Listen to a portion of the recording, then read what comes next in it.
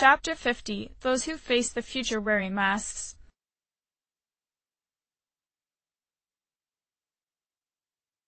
Twenty-one January 2010 Minato looked up from his notebook when Hamuko set a cleaning cloth on top of his desk.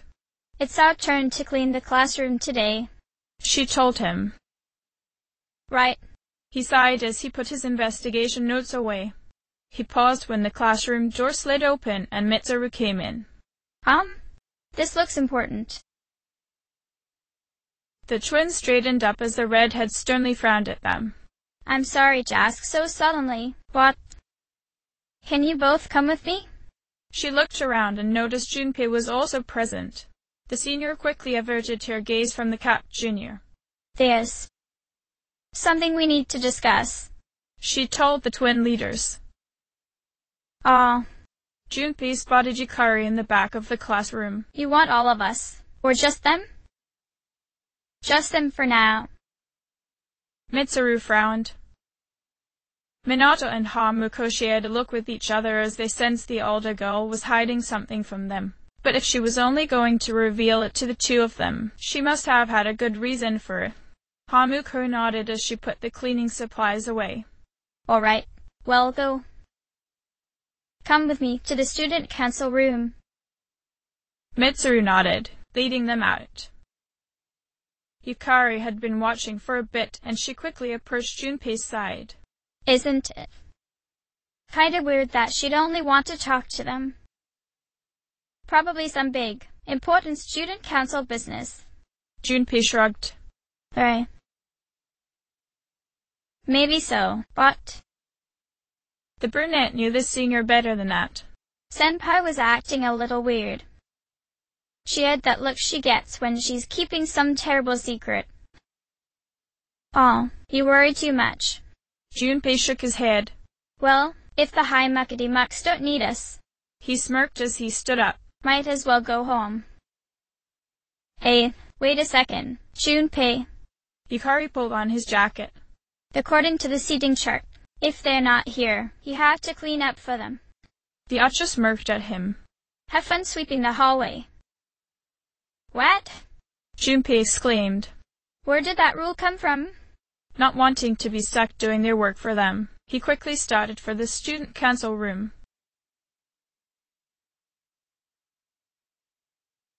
Mitsuru checked the room once more to make sure nobody would overhear their discussion. There's something you have to know. She began as the twins stared at her curiously. Do you remember the girl named Chidori, who was with Strega? Of course. Minato frowned. How could we forget? Did something happen? Hamuko asked in concern.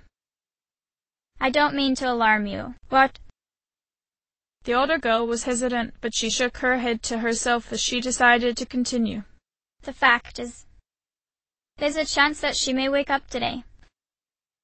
Both twins straightened up and stared at each other in confusion. The older brother shook his head. W.E. I know what you're going to say, Mitsuru carefully calmed him down. and yes, we did see her die in front of our eyes. However, her body began to undergo transmogrification a few days after the incident. For the past few weeks, she has been in a state that is neither living nor dead. Why didn't you tell us? Minato frowned at the senior. Truthfully, The Empress sighed. I was hesitant to bring this up. I thought it would cause undue distress if we didn't know whether she would eventually live or die. How did this happen? Hamuko knit her eyebrows together. I don't know. The senior shook her head. It may be related to her personal abilities, but that's mere speculation. But what I wanted to talk to you about She held her arm. is your opinion on how to break the news to Iori. The twins' eyes widened. You see, she probably. She was interrupted by a phone call. She quickly answered when she saw it was from the hospital. Mitsuru here. She paused for a moment as the doctor spoke with her. I see. Yes, I understand. She hung up and looked at the two juniors with a troubled expression. That was the hospital. They say she's just awakened. It's unbelievable. She shook her head. But although we had confirmed her death, it seems Chidori has come back to life. She paused when she heard the door open behind her. Junpei stared at her in shock. Did I hear that right? I Mitsuru didn't know how to respond to him. Hamuko took a step towards her best friend. Junpei. The cat boy took a step back and shook his head. Chidori is. He slowly found himself beginning to hyperventilate. How? I ah, is this a joke? Some kind of trick? He asked, unable to believe it. After a few seconds of deliberation, Mitsuru decided it was best to tell him. No. It's not a joke, or a trick. She is currently recovering in the same hospital as before. Junpei's face slowly lit up. What? Iori. She probably... The boy didn't seem to care about anything else as he looked down the hallway. Chidori. He clenched his fists. Chidori's. Alive? He quickly took off, passing Yukari in the hall. Oh, a Junpei. The archer called out to him, thinking he was ditching his job. What about your cleanup duty? She sighed. Jeez. What's gotten into him? Mitsuru chuckled as she stepped out into the hallway. Hamuko, Minato. Well, I guess it's a moot point now. Bart. Perhaps it's best that he found out this way. I think I'll head to the hospital after this. To, could I ask you to come along? Of course. Hamuko nodded. Minato softly smiled as he played with his headphones. He paused though as he realized a few things. Senpai. There's more, isn't there? Mitsuru frowned as she guessed his concerns. We'll just have to see once we get there. Junpei took a moment to catch his breath as he stood outside the hospital room. He heard rushed footsteps down the hall and lifted his head to see Mitsuru and the twins. The three paused to study him, but the junior noticed Minato and Hamuko giving him encouraging smiles. The tall junior straightened up, grateful that his friends gave him the last push he needed to face Chidori. He slid the door open but immediately tensed up at the sight of the familiar red-haired girl sitting in the hospital bed. Chidori lifted her head up and gazed at him questioningly. She was thinner than before, but other than that, she seemed completely healthy. She kept her gaze steady on Junpei as he and the others entered. Mitsuru looked over to her doctor. How is she? She asked him as she closed the door behind him. Her damage damaged endocrine system and other internal organs have completely healed. He told her and the twins. She's still weak, but there's no more danger of her dying in two years. Junpei brightened up at that news as he took a hesitant step towards the girl. Is it really you, Chidori? He began to shake. I'm not dreaming. Am I? The girl knit her eyebrows together. Dreaming. Junpei began to cry in relief and happiness. It's true. It is you. Chidori. He hurried to her side, but paused as the girl continued to stare at him as if he were a stranger. Who are you? She asked him. The tall junior frowned at her. Huh? What? I thought as much. Mitsuru sighed, causing the boy to turn towards her. Transmogrification is a proof that one lacks potential. I suspected that this might be the case. Chidori looked over to the doctor in confusion, and the man did his best to explain things to her. This is Mitsuru-san and Junpei-kun. They were your friends last year. Friends? The girl studied the strange students. They seemed familiar, but she couldn't quite remember who they were. My name is Chidori Yoshino. She bowed her head to them. I'm sorry. She frowned. It hasn't quite hit me yet, but it seems I don't remember any of the past few years. It's as if I was dreaming for a very long time. Chidori. Yoshino. Junpei blinked as he never did catch her full name. The doctor flipped through the girl's medical files. It seems all of her memories after she awakened to her persona are gone. She remembers everything that happened before then, but as for you all...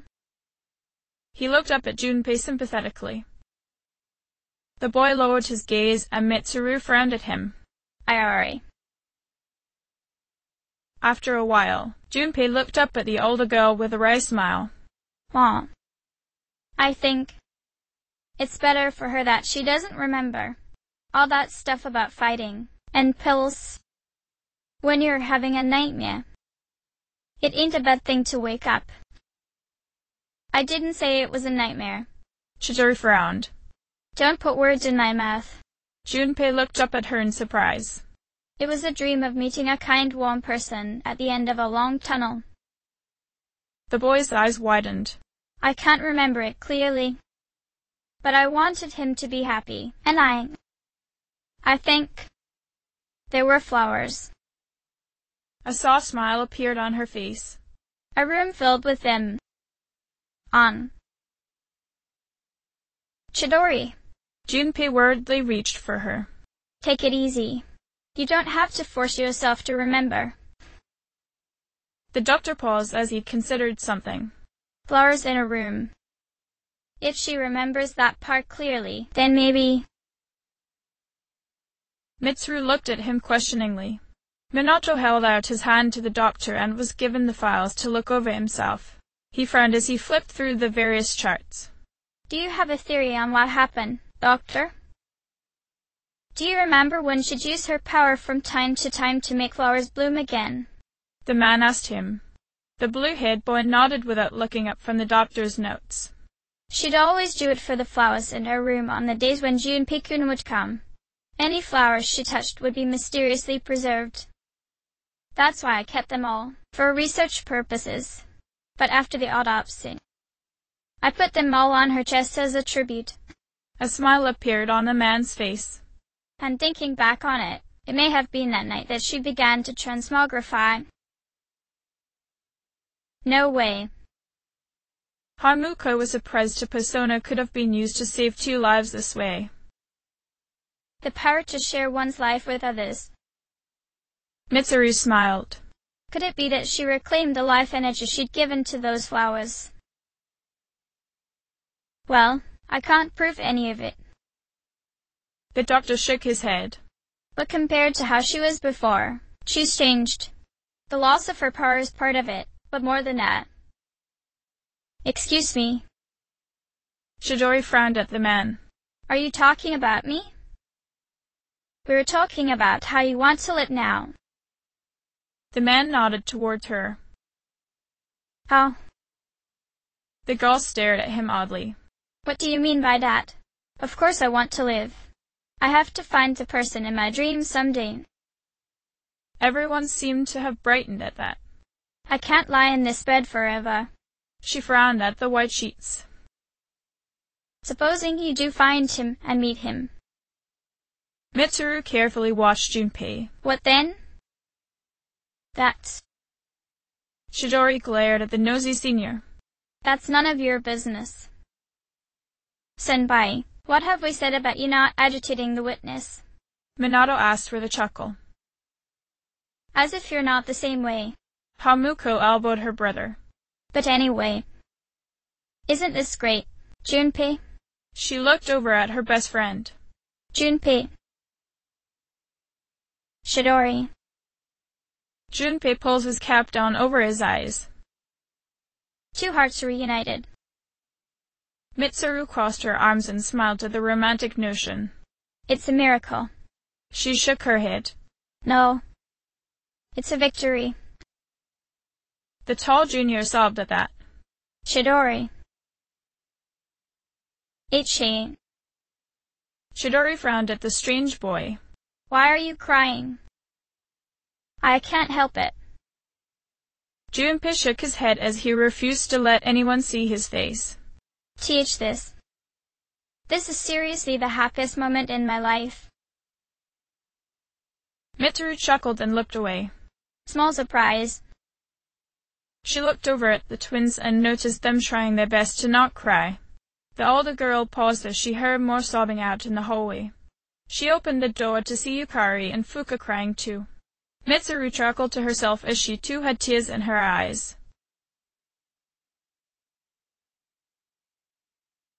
25 January 2010 Hamuko smirked as she finished her career counseling. Nii-san, Sensei says it's your turn next. Minato stood up from his desk with a sigh. Alright. He nodded. Just relax. The brunette patted his back. It won't take long. Just be confident in your answers and you'll be fine. There. I'll keep that in mind. Her brother nodded. He paused after stepping out into the hall. What did you decide? He asked his sister. Hamuko wagged a finger at him. This is your decision. Remember? You've got to make it yourself, regardless of what I do. She sternly frowned at him. You'd better not keep Miss Toriyami waiting. Fine. But I kinda already know what you're doing anyways, Miss Future Doctor. Minato took a deep breath before heading to the faculty office. When he finally arrived, Toriyami nodded to him in greeting before pulling up his files. Let's begin, shall we? She kindly smiled at her best student. I don't have much to say, though. She shook her head. In the end, it's your decision. Alright, first question. Are you planning on going to college after you graduate, or entering the workforce? I think. I want to go to college. Minato stated with a nod. Toriyami marked his answer down in his file. I see. Well, if you've given serious thought to your decision, then I believe that is what you should do. She looked towards Minato and saw the usually composed boy didn't seem quite certain about his answer. Is something wrong? The junior frowned to himself and lowered his gaze. After gathering his thoughts, he knit his eyebrows together and shook his head. To be honest, He sighed. I don't actually know what I want to pursue.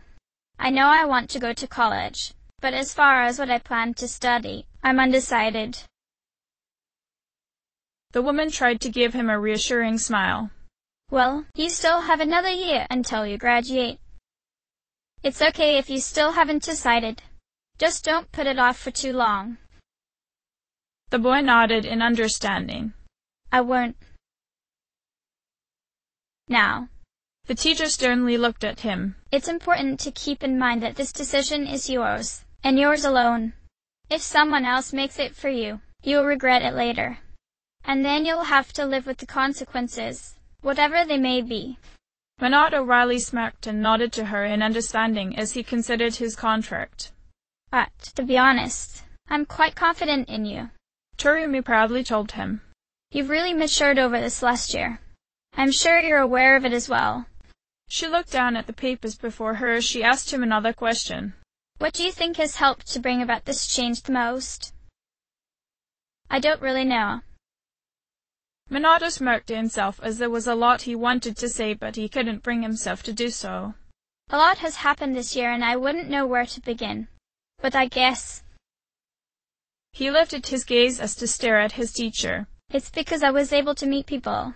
He said with a genuine smile. People who became my invaluable friends. Toriyami smiled as she sensed the sincerity in his words. I see.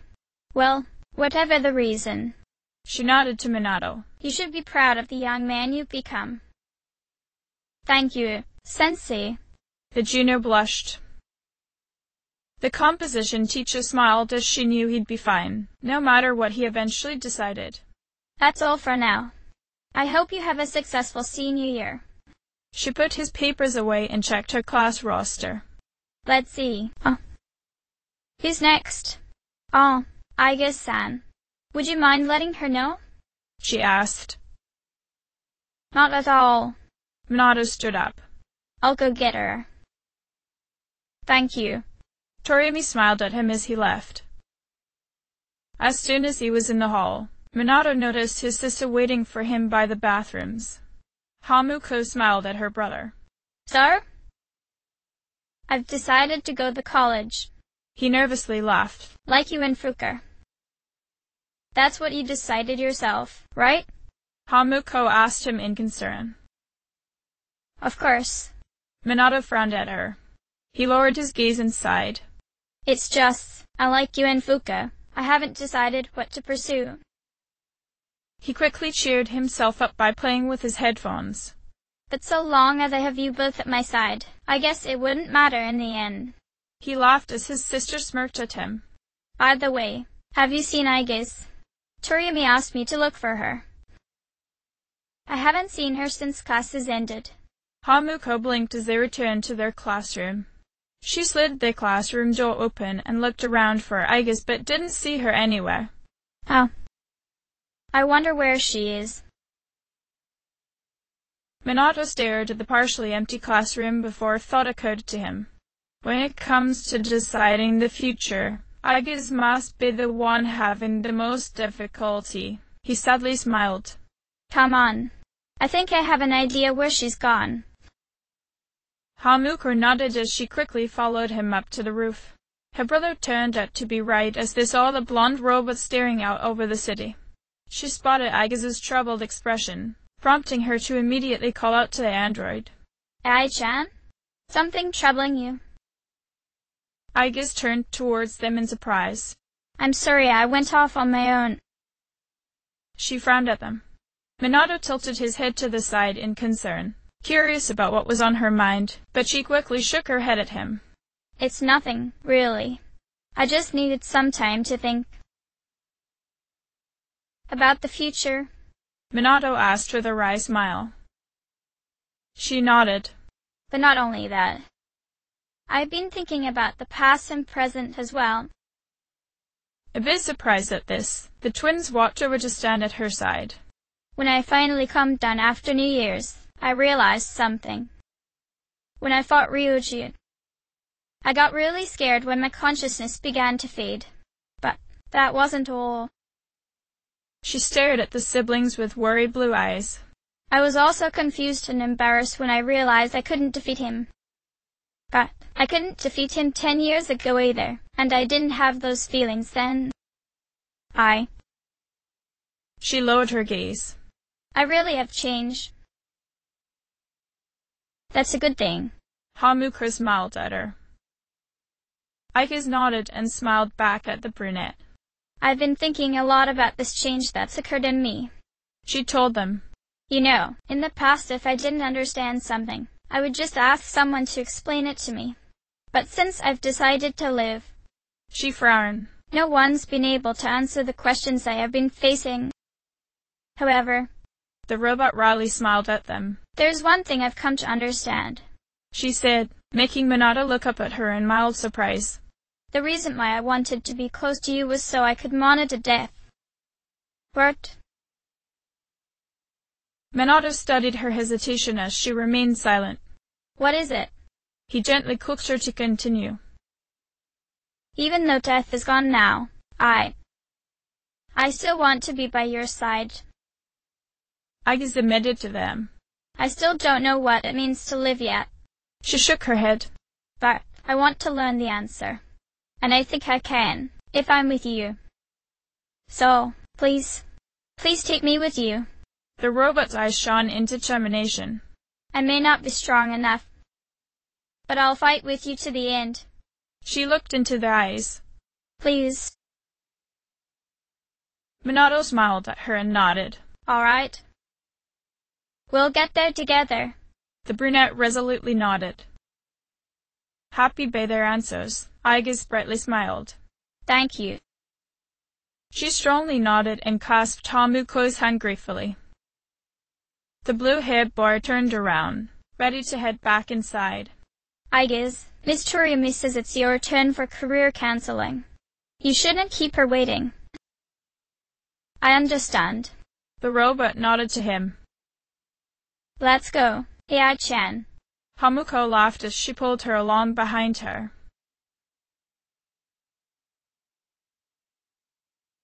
I see nothing. Then Mother frowned in confusion as she peered into her empty crystal ball. Nothing. Minato exclaimed in alarm. Does that mean I have no future? He asked in slight worry. Mo. The woman shook her head at him. What I see is nothingness. It is the void. She noticed Minato's confused frown. But do not lose heart. Emptiness is not necessarily the end. The void is infinite, as is the universe. Whether this marks an end to all things, or a beginning, it is in your hands. It's like the number zero. Minato stared at his empty palm. After a while, he managed to crack a smile before standing up to bow to the fortune teller. Thank you for your time. You've been a great help. The fortune teller smiled at him as she sensed this was the last time he'd be coming in for a reading. Farewell, then. May your future be bright. Minato nodded before leaving Escapade. So my future is just like me. Anything can happen. He sighed as he recalled the day's date. We have only a week left. Let's make it con. He smirked to himself as he returned to the dorm. 30 January 2010 The promised day was drawing ever nearer and the twins finally finished their remaining two social links the first of which belonged to Mitsuru and although she had opened up to the twins, Minato still couldn't help but feel as though the senior purposefully set up a barrier around herself. Hamuko noticed too and with her natural tendency to befriend others and her brother's persistent Hellhound tactics, they had completely managed to change the Empress's views on her position as heiress of the Kirijo group. Mitsuru found it difficult to want to take over her father's company and wondered how it was that Hamuko and Minato balanced this sense of responsibility with their own desires. Given their ties to the Kuzunoha clan, she knew they were also shackled by their family but it was always marvelous to see them stretch their binds as thin as they could. It gave the redhead some hope for her own caged life. One day, the twins were unfortunately introduced to her fiancé and Mitsuru surprised herself by calling off her engagement when the man insulted her dear friends. The future leader of the Kirijo group had done so without thinking, but his words had infuriated her as he looked down on Hamuko's integrity and Minato's honor. Neither twin spoke against him as they knew their place and didn't need to justify themselves to the snobbish man, but Mitsuru felt the need to set things straight. Of course, Mitsuru also needed to apologize to the twins for inconveniencing them. She asked them to join her on the rooftop one day and thanked them for everything they had done for her. She also admitted that out of everything to have happened to the team over the course of the year, she had never expected the twins to have grown into such amazing leaders. Their style of leadership vastly differed from hers. After all, while Mitsuru found it easy to use her chilling authority to get others to do as she willed, the two siblings had a warmth to them that drew others to trust in them. Even if Minato seemed outwardly cold, there was no denying the fiery gaze in his eyes whenever he wished to accomplish a task. That same internal blaze was also in Hamuko as she openly wore her heart on her sleeve. Both twins shone radiantly in the beautifully warm light, and it took the student council president a long time to figure out what it was about the two juniors that made them so extraordinary. When it came down to though, the answer was actually relatively simple. Their strength of character stemmed from their unshakable bonds, bonds that gave them the power to believe and trust in others and in turn have others believe and trust in them. They weren't naive, idealistic children though. Minato understood the draw of solitude and although she was more outgoing than her brother, Hamuko knew the pain of loneliness. Both juniors didn't seek out others to fill their empty lives. Rather, they sought to expand their horizons by truly making an effort to connect to a world well beyond their own individual limits. As it so happened, their actions also gave Mitsuru the chance to experience the brilliantly expansive universe for herself, forcing her to extend the limits of her own small world. All this was thanks to the twins being able to look at her and see her for who she was as a person, not as an asset. Nothing is harder than facing every single person straight in the eye. Mitsuru smiled at them in admiration. No one could have served better than you as our leaders. Hamuko blushed at the praise. You're pretty amazing yourself, senpai. The red-haired senior shook her head. Hamuko. You're outwardly adorable. And yet, She studied the brunette. you have in need to be stronger, more courageous, and more charismatic than a man. What does gender have to do with this? Minato crossed his arms and frowned at her. Well, Mitsuru glanced at him in surprise. my apologies, Yuki. The older girl wryly smirked at herself. It seems in the end, it was I who was most hung up on the concept of femininity. Because I am a woman. Despite being a woman, it was just a way to excuse myself for failing. And if I ever needed an excuse to run away, I would justify those feelings by believing my Kirijo name was restricting me from all the things I've always wanted to do. Watching you both, I realized I had been a coward. From now on, I will no longer allow my sex or family name to shackle me. I am me. I have things only I can do, and I will accomplish them. She looked them both in the eyes. I will never ask you both to run away with me ever again. he said. Mitsuru offered her hand out towards them. stay by my side. Fight alongside me. Live alongside me. Understand? The twins didn't verbally respond as they smirked at her. Mitsuru managed to crack a smile for them before remembering she had something to give them. Oh, I almost forgot. You, Minato blinked at the motorcycle key she handed to him. um, Senpai. Hamuko and I don't have licenses. I know, She chuckled. but I understand you have a penchant for collecting evidence of other people's resolves. This will be proof of my resolve. I'm not going to run from the future anymore. She smiled to herself. There's no need for me to. I don't have to think of my motorcycle as a means to escape from my feelings. I feel bad that I haven't ridden it in such a long time, though. Are you sure you want to give it to us? Hamuko smirked. If you do, you won't be able to ask Kakini to accompany you. She teased the older girl. You are indeed relentless. Mitsuru sighed. A blush appeared on her face nevertheless as she turned towards Minato for support. Yuki, tell her I have no interest in Akihiko. I'd be lying if I did, Minato frowned. and I don't lie to my sister. Besides, you're free to do as you wish, senpai. He reminded her. It's not our place to tell you how to live. Hamuko nodded in agreement with her brother. You're Mitsuru Kirijo after all. Student Council President of Gekkoukan, Captain of the fencing team, leader of the specialized extracurricular execution squad, head of the Kirijo group, and our senpai.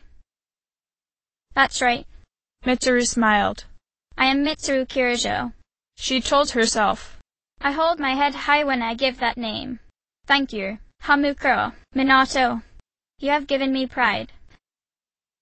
When the three returned to the dorm that day, Akihiko was the first out of the rest of the team to sense the change within Mitsuru. The boxer crossed his arms as he sternly frowned at the twins. I heard they ended up ruining your engagement. I know we didn't think much of the guy, but... What about the company? Mitsuru reassuringly smiled at him. The Kirijo group will be fine. I appreciate your concern, Akihiko. As no one else was in the lounge, she kissed the white-haired boy on the cheek before returning to her room. Thank you for all of your support during these past three years. Oh, of course. Akihiko blushed as he watched her go up the stairs. I'll always be here if you need me. He called out to her with a nod.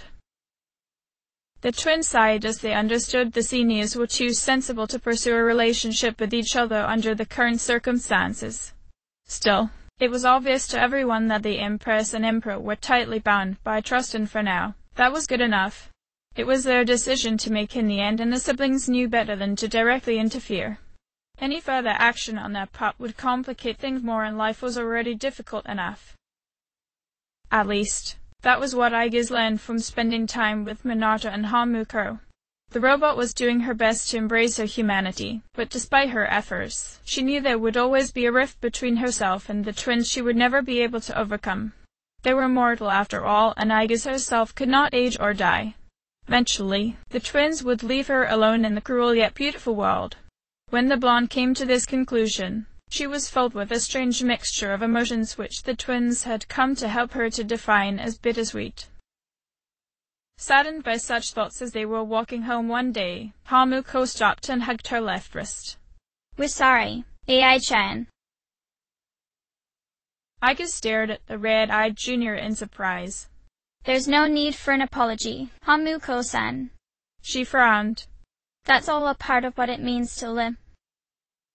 She lifted her gaze to study both twins' solemn expressions. To live means to be connected to other people, but life is finite, and farewells are inevitable. It's sad to consider, but you and I must part one day as well. And then, I'll never be able to see you again. Sadness filled her blue eyes. There's so much in life that cannot be understood.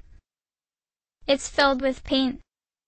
You meet others, forge relationships, and spend time with them. Then they are gone, leaving you behind, leaving you alone. That doesn't seem very fair, though. Minato sighed as he reached up for his headphones. No, but that's still how it is. Aigis shook her head at him before gazing at the shimmering ocean waters. You often watch the sunset from here on Moonlight Bridge, but no two viewings are alike. Life is the same in that no two days are alike. She firmly stated. It is natural for everything to disappear, return and remain in a constant state of change. Life is finite and ephemeral. That is precisely what makes it precious to us, showing us that we shouldn't waste it. It is a miracle for any two like-minded people to meet within the chaotic flux. That's why forging bonds and relationships is a source of happiness. That is the root cause of the joys of being alive. The blonde robot gently smiled at them. It's not a cold, but a warm kind of sorrow, shining more brightly as a result of its limits. If I think of it that way, there's no time to falter or hesitate. The twins looked to each other with wry smiles on their faces as what the Aigis said was true. Hamuko brought her arm up to wipe away the tears that threatened to spill from her eyes. You're really okay with that, eh, Ai-chan? The red-eyed girl stared into the robot's blue eyes.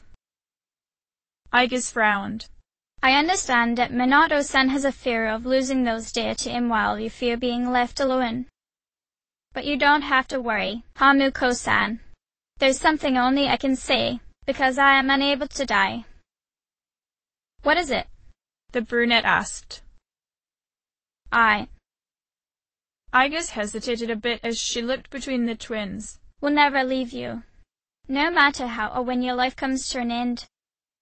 At that moment, I will be at your side. You will. She brought a hand to her red bow, over where her papillon heart was stored. Remain in my heart. Even if we part, you will always be with me. Minato smiled at that. You love us that much, huh? Yes. The robot nodded. Even if you cannot return it, I will always love you both with my entire being. She was surprised when Hamuko suddenly hugged her. The brunette lightly laughed. We love you too, Ai-chan. She let the robot go and turned towards her brother. Yeah. Minato placed a hand on Aigis's head. You're a lot like us. So we won't die on you so easily. Please do the same for us. It's because of you we're still alive, Aigis blushed as this was the first time the boy had given her such a kind gesture. The robot felt a strange warmth inside her as Minato fondly smiled at her. I will do my best, Minato-san. She nodded to him. When the boy lifted his hand, she straightened up as she remembered something. Oh, yes. Um. She looked through her school bag for a child screw. Will you accept this? Hamuko blinked at the burnt lump of metal Aigis dropped in her palm. Ai-chan, what's this? It is. The robot frowned at the bridge they were standing on. One of the parts that had to be replaced after I collapsed. I asked Mitsuru-san to have it sent to me. I have. Changed since then. She stared at the twins in determination. I'm not afraid, and I won't give up. I'll get back on my feet as many times as it takes. I'll fight by your side and protect you. This is the proof. I wanted you to hold on to it. Ace. The robot blushed again. A part of me. If to live means to spend time with people you forged relationships with, then I want my relationship with you to be the strongest of all. My connection to you is my reason for living. The thing that's most precious to me is to be at your sides. Both twins nodded to her as they sensed a new persona appear before them signifying the completion of their final social link. It was hard to believe they had established such powerful bonds with so many people, but they had done it. Their 22 social links were proof of how much they had grown. The strength they received had been given to them by their precious friends, and the twins already knew exactly how to utilize the power as they sensed the Velvet Room calling for them again. Igor looked up at the twins as he awaited their arrival. Ham, the long-nosed man smiled as he sensed the vast potential within them stir. Well, well. It seems that you've discovered each of the social links and formed strong bonds with them all. The twins smirked to each other at that. In order to have gotten on so well with so many different people, you must have worn many faces. Perhaps you'll find this useful. Igor waved his hand and a colorless mask appeared in the air since you seem to be able to adopt any sort of face. Cyphers like you too. The mask gently drifted towards them and they both reached out for it together. Should have this. As soon as they touched it, the mask disappeared, storing itself away in their sea of souls until the time came for them to use it. Igor studied the two carefully as he sensed they were filled with questions. With it, he told them, you'll be able to summon those personas he vaguely stated with a smile. I'm interested to see what kind of personas result from this. I'll be looking forward to the day they emerge from the seas of your souls. Minato respectfully bowed to the long-nosed man. Thanks for all your help so far, Igor, he said with a smile. Hamuko nodded to the man. Yeah. We wouldn't have made it this far without your assistance. You are my guests. Igor bowed his head to them in acknowledgement. Assisting you both is the reason for my existence. I wait your next visit. He waved to them as the twins departed the velvet room. Elizabeth smirked as soon as they were gone. So, they have reached the limit of their growth. I would not say that. Igor shook his head. It is true their powers have peaked, but there is still much room for our guests to further themselves. After all, they have yet to awaken to the true power of the Cypher's mask. Theodore proudly smiled at his guest's prowess. Indeed, they are remarkable guests. Master, if I may. Elizabeth frowned at the soft blue carpet. I would like to test their powers myself. I, too, long for an answer for the purpose of my existence, and if they are as powerful as we have come to believe. We are not to interfere with our guests' journeys. Igor sternly reminded her. But I am merely suggesting a test of their growth. The golden-eyed girl smirked.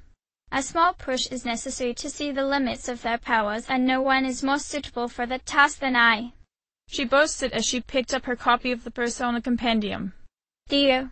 She glanced at her brother and noticed him nervously tense up. Don't you wish to see this infinite potential they seem to possess? I cannot say I am not intrigued. The polite young man replied. But I do not wish to cause Hamuko any harm.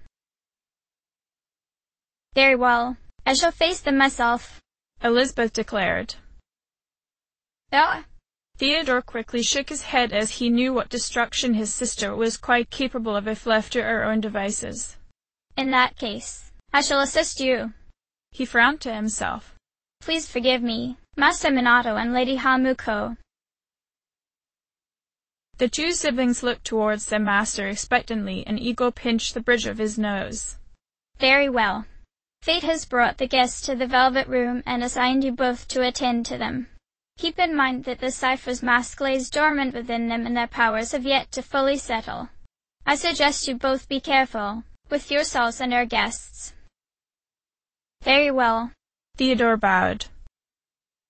Oh, I'm trembling in anticipation.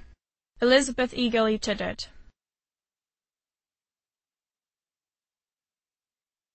Hi, how was your day?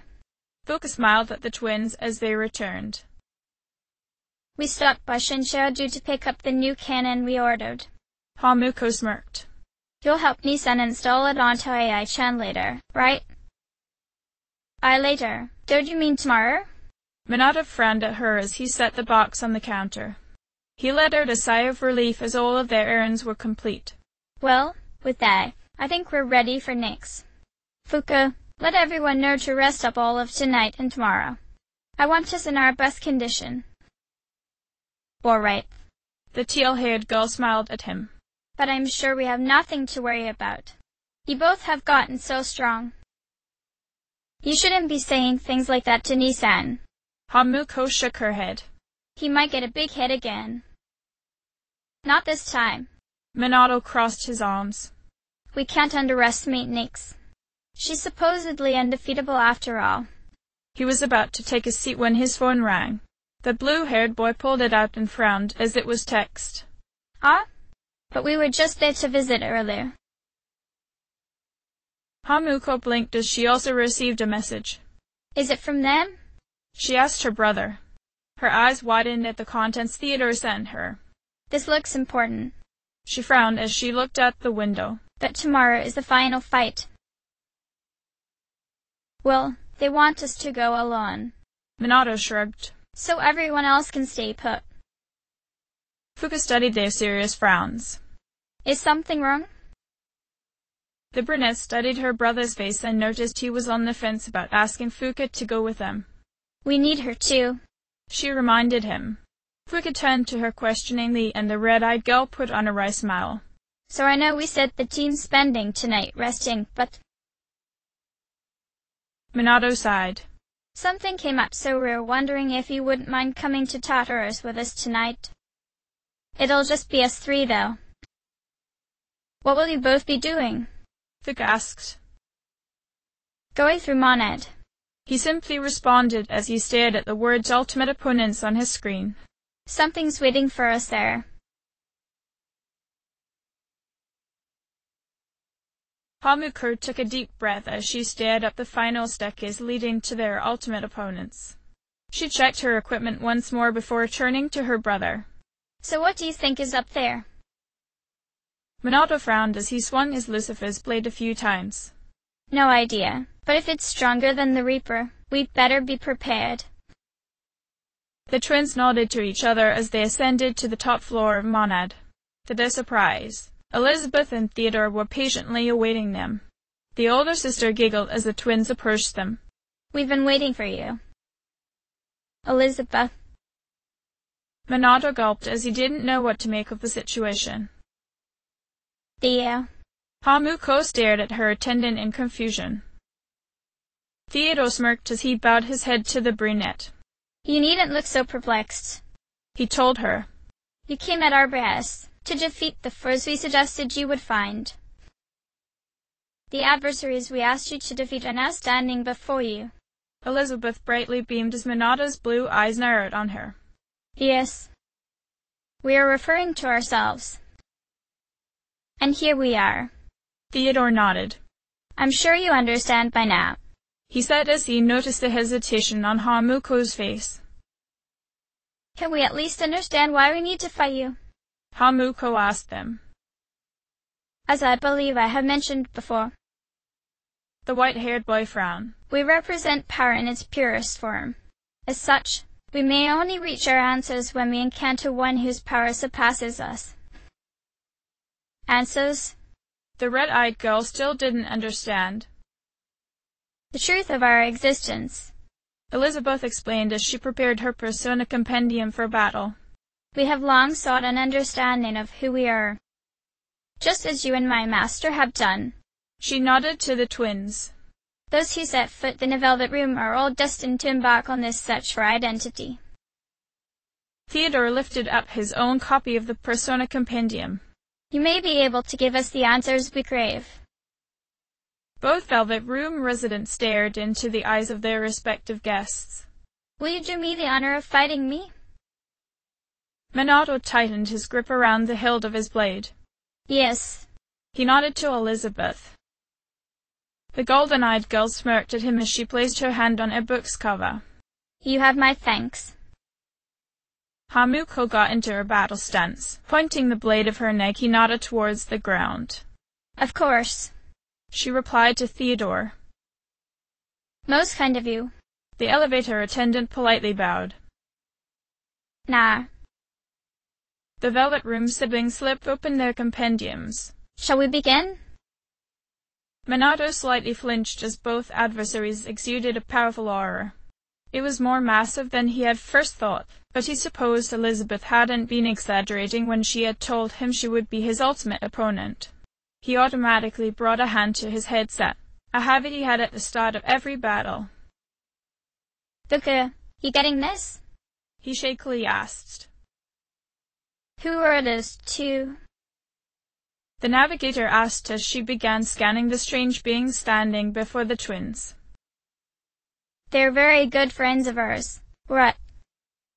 It would take too long to explain. Hamuko smirked. Oh, um. Is it just me? Or does it seem like they want to fight?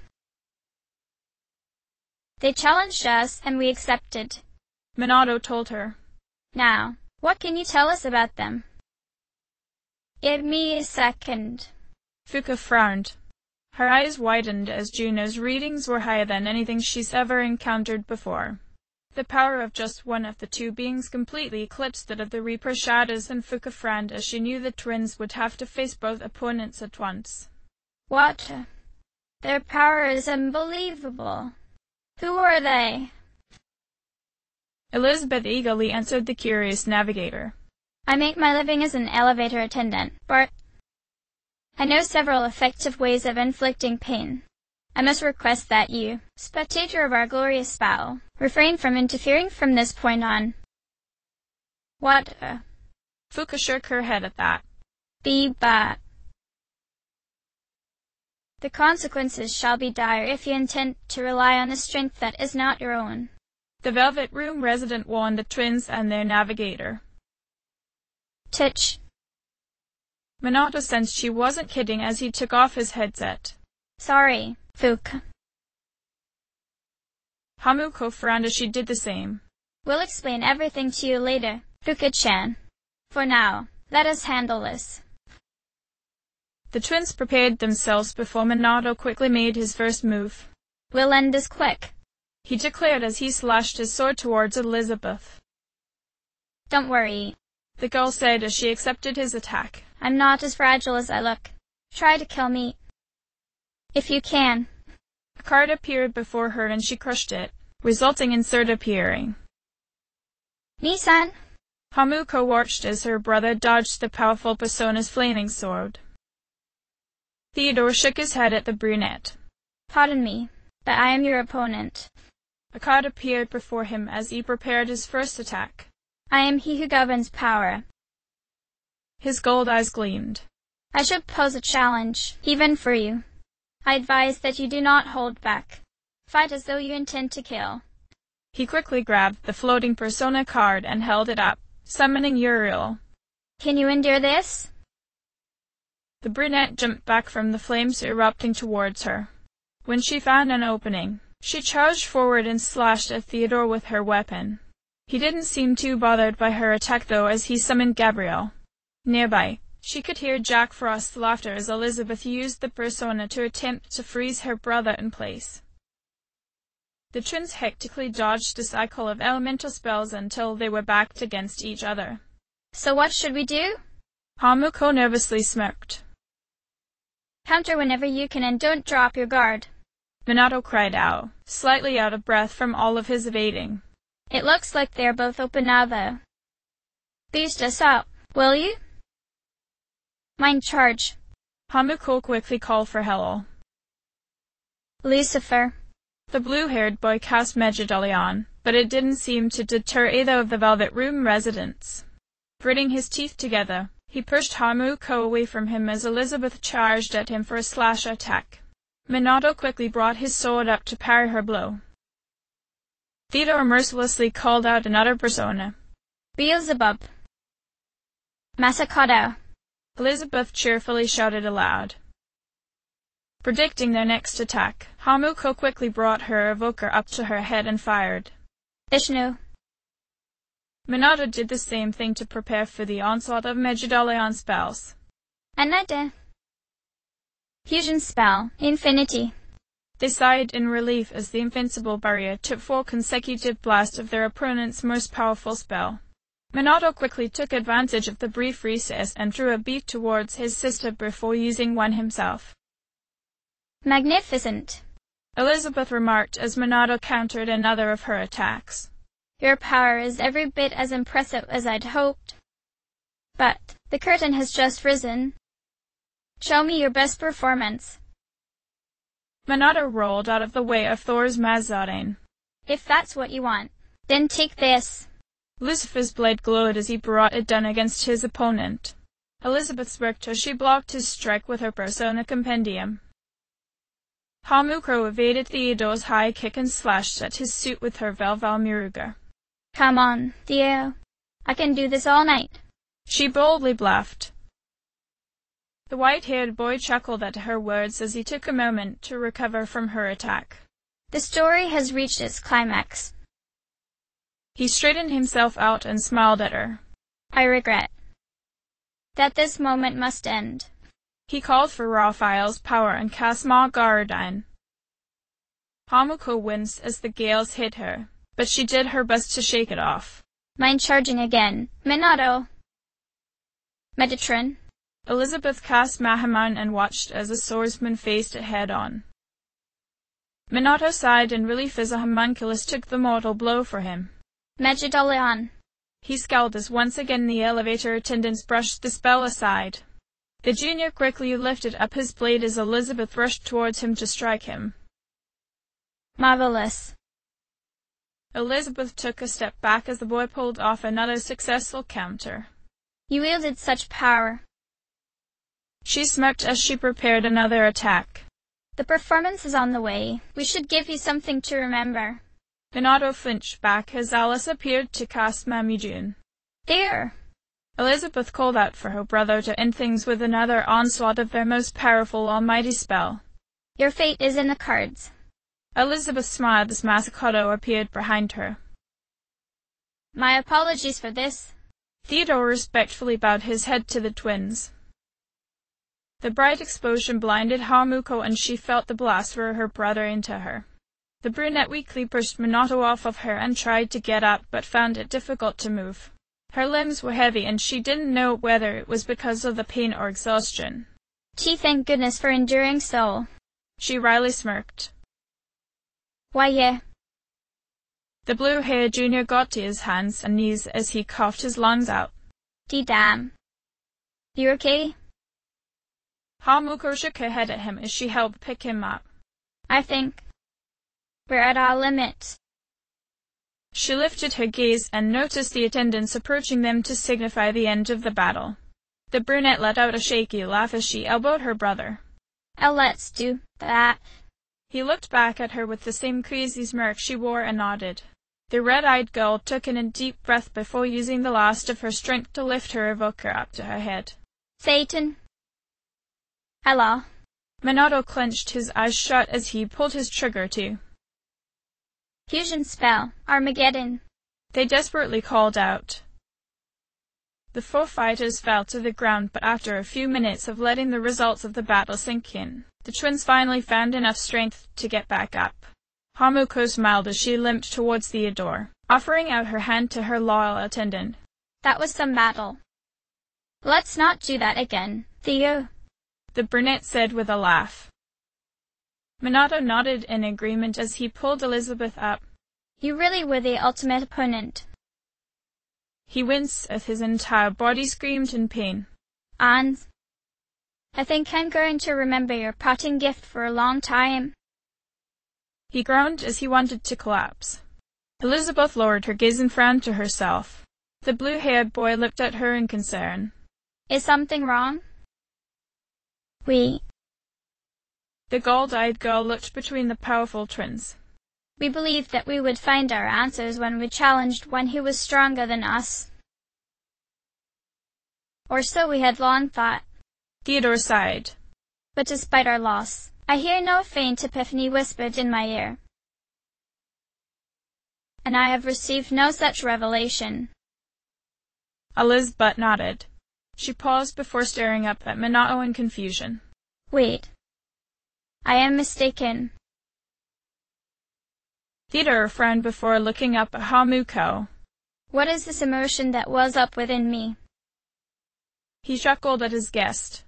It's as if the core of my being is filled with satisfaction. Could this be my answer? He asked the brunette. The twins looked to each other with a shrug. Minato crossed his arms as he studied at the two velvet room attendants. And what answers have you found? Elizabeth smiled at him. The answer is this. Only I can decide who I am. Theodore nodded in agreement. Only I can answer the question of my true self. He wore a worried frown. Is this, then, the first step towards finding that answer? I'm sure it is. Hamuko nodded to him. The golden-eyed siblings looked to each other in mild surprise before smiling at their guests. Elizabeth nodded approvingly at the power Minato displayed.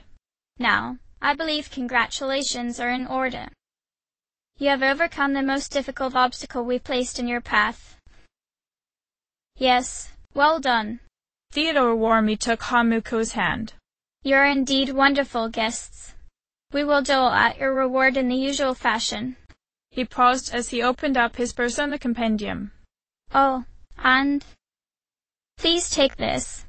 It's not a reward, only a sign of my gratitude. Hamuko accepted the fragrant bookmark with a soft smile. Thanks, dear.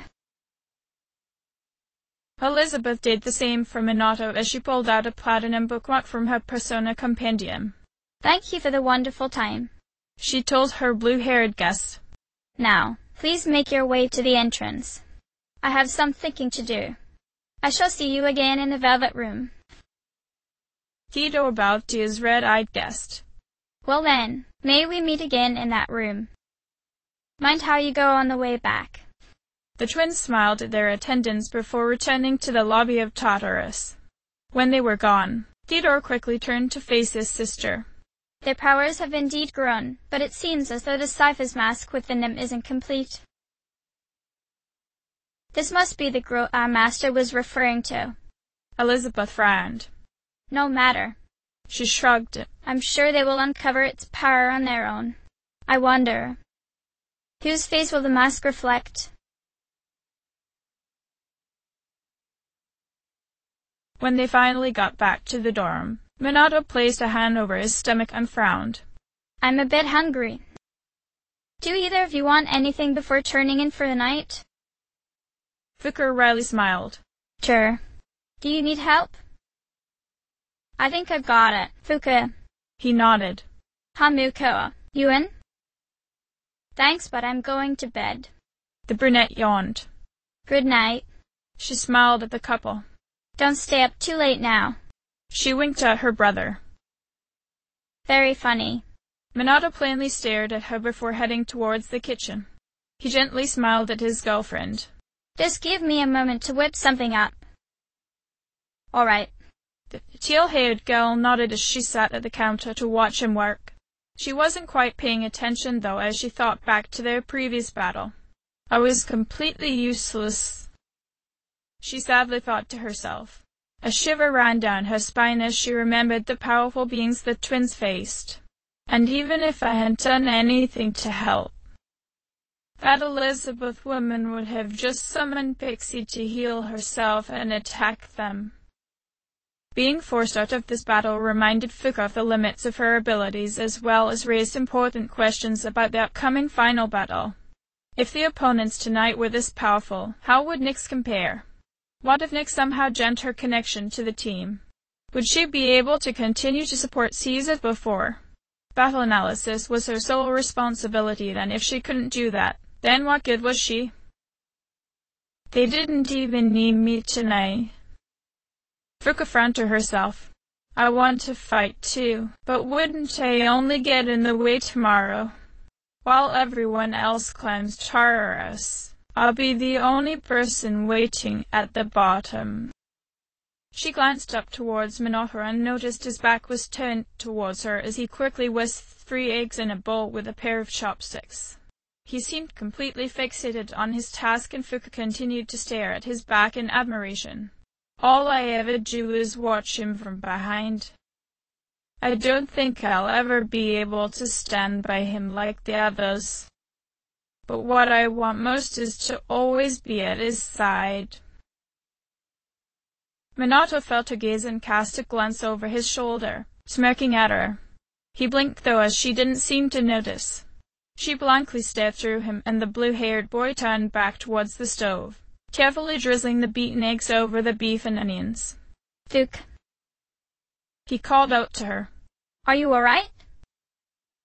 The girl quickly sat up, surprised by his question. Why, yes. I'm fine. She tried to smile at him as he scooped out two bowls of rice for them. Minato sternly studied her expression and the girl faltered a bit. She lowered her gaze in shame for lying to him. And no, the blue-haired boy carefully plated the beef bowl and set it before her before taking a seat at her side. I'm here if you need me, he reminded her as he held out a pair of chopsticks to her. She accepted them from him and nodded her head in understand. I, I know, Minato-kun, but I'll be fine. Minato tilted his head to the side as he continued to stare at her in concern, but he didn't press her. Knowing he was waiting for her to start eating first, she quickly picked up her bowl, Anyway, let's eat. Itadakimasu. They ate in silence, but while that wasn't uncommon for the two of them, Fuka noticed the boy was eating at a much slower pace than usual. The girl sighed and put her chopsticks down as she realized he was probably thinking about how best to speak to her without upsetting her. To save him the trouble, she turned toward him and decided to just tell him. Minato-kun, he blinked at her in surprise, but patiently nodded. Yes, Fuka.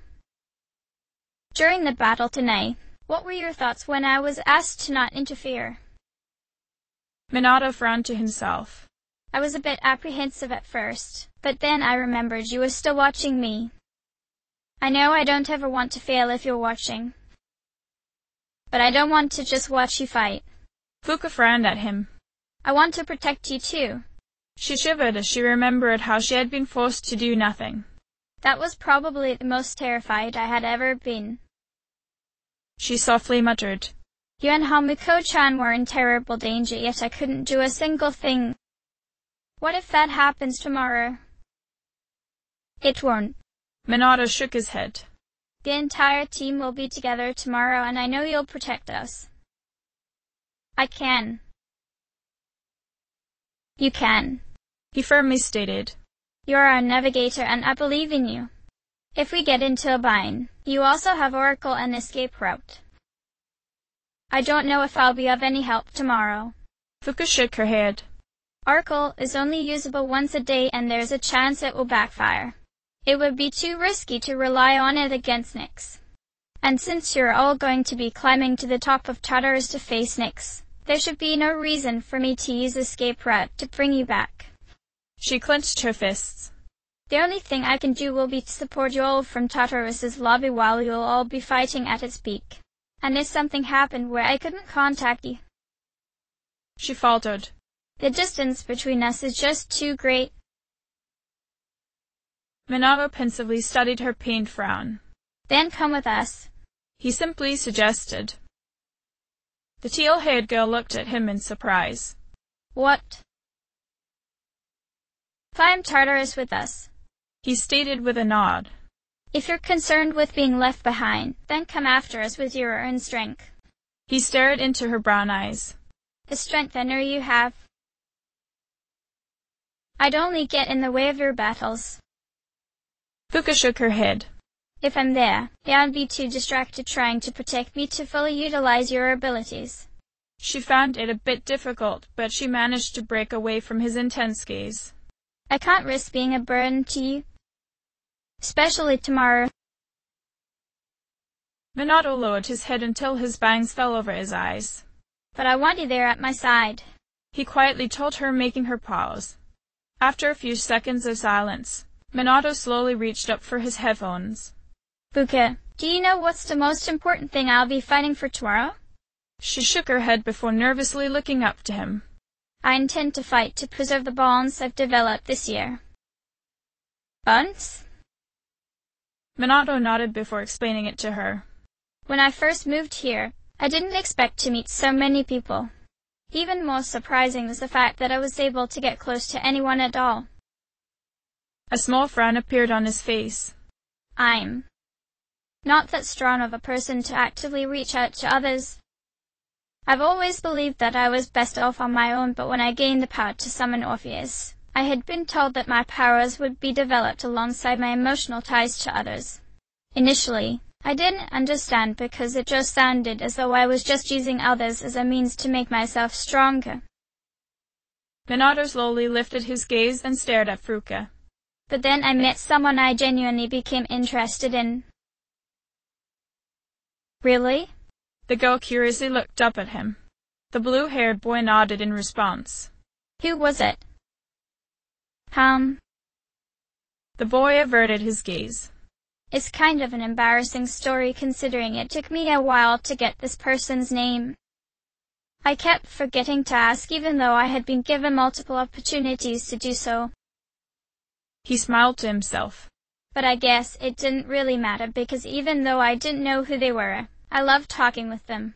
His blue eyes shone in happiness as he spoke. I didn't have to worry about using this person because they went a social link. This person was also the first friend I actively reached out to of my own accord. His smile slowly faded as he let out a heavy sigh. So imagine my surprise when I thought I killed her after she disappeared into Tartarus for ten days. Fuka's eyes widened. Wait. You're talking about Minato shook his head and let out a light laugh. Of course I'm talking about you. You're the first person I actively managed to befriend with my own strength. A serious expression washed over his face. Even more, you're the first person to wholly accept me. He gingerly reached a hand towards her locket and opened it. Even when I did finally begin my social link with you, I wasn't worried because I knew our friendship was real. For it to develop into something more. Well, he softly smiled at the small picture stored in the charm. Let's just say that the bond between us is my most precious out of all of the ones I've formed this year.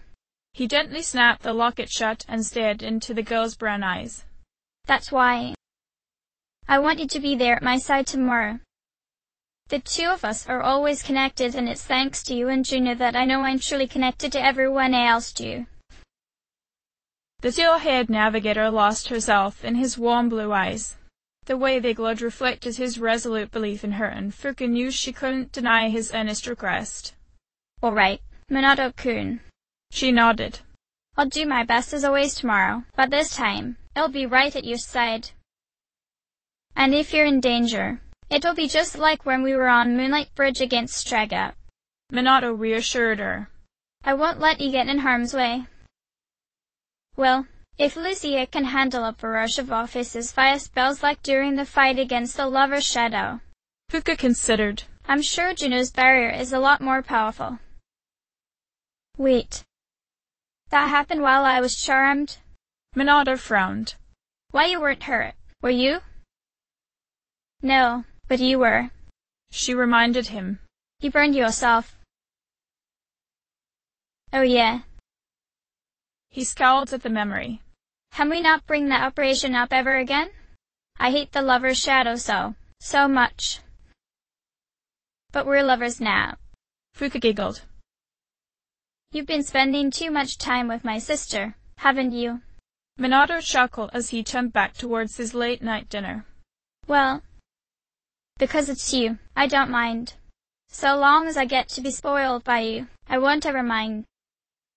He watched as she picked up her chopsticks again and resumed eating. Hey, Fuka. She looked up at him. will you please stay with me tonight? Of course. She blushed.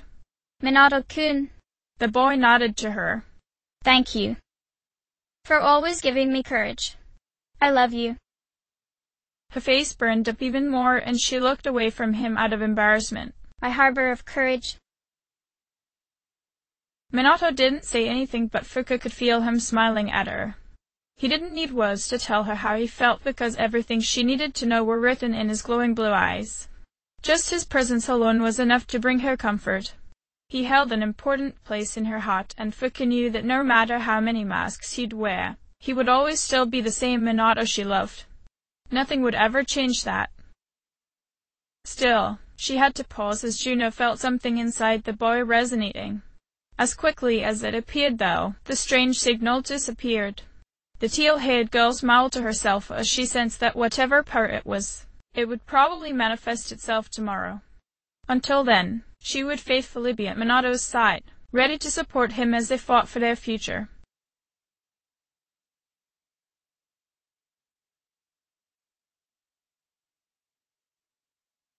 The entire dome made their way to Naganaki Shrine and quickly dispersed throughout the park. Although they were all high school students, with the exception of Ken and Koromaru, they found themselves playing on the jungle gym and slide. Aki smiled as she played with Koromaru. Bomb. She told the dog. Koromaru barked before holding out his paw to her. Um. Paw is the command given to ask the dog to put his paw out. Then? Koromaru barked and nodded. I see. The robot stated in fascination. Yukari blinked at Mitsuru as they both sat at the top of the jungle gym. Huh? Clothes shopping. With me? The older girl quickly shushed the archer. Not so loud. Ugh, that sounds great. Yukari smiled. Let's go together next time, Mitsuru-senpai. Within the jungle gym, Fuka frowned as she got herself stuck inside the maze-like structure. Junpei smirked as he tried to give her directions on how to get out. Go right, Fuka. One around the right. Oh, okay. Ah, Fuka frowned as she noticed she was going in circles. that's left. The catboy blinked a few times. Oh, I meant my right. He frowned as an idea came to him. Um. Why don't you just climb the jungle gym? Hamuko laughed as she stood at her best friend's side. Because Minato got stuck trying to rescue her. She pointed at the tangle of mist dangling upside down above Fuka. I told you not to panic, Nii-san. The brunette continued to snicker. SH shut up. Minato glared at her. Do you need help, Minato-kun? Fuka asked with a small smile. The blue-haired boy felt his face go red. Why yes. Fuka tried to reach up for him to pull him down, but they flinched as Hamuko captured a picture of the moment, blinding him with a flash. My eyes. Minato yelped as he toppled to the ground. Minato-kun. Fuka worriedly knelt at his side. That's a keeper. Hamuko smirked as she took another photo. Wait. Dude, take it easy. You just almost killed your brother. Junpei frowned at her. By the slide, Ken adamantly shook his head at what Akihiko was daring him to do. What? The young child frowned. I'm not going to go down the slide head first. My clothes will get all dirty. Akihiko crossed his arms. When I was your age, we used to have competitions to see who could slide down in the funniest way. Like how? Ken asked. His brown eyes widened as the older boy began undressing. And no, Akihiko-san, please don't take your shirt off. Ken flinched as another flash of light illuminated the playground. Another keeper. Hamuko smirked. I wonder how much I can sell it for at school. I'm sure your fan club will pay good money for a shot like this. Akini. Akihiko's face went red. Hey! Give me that camera. The boxer quickly went after the tricky brunette. I swear if you break my camera, Hamuko, I'm murdering Pyro Shinji. Minato roared from his confines. He smiled though as everyone seemed to be enjoying themselves. The promised day was near and they wanted to make the most out their remaining time together.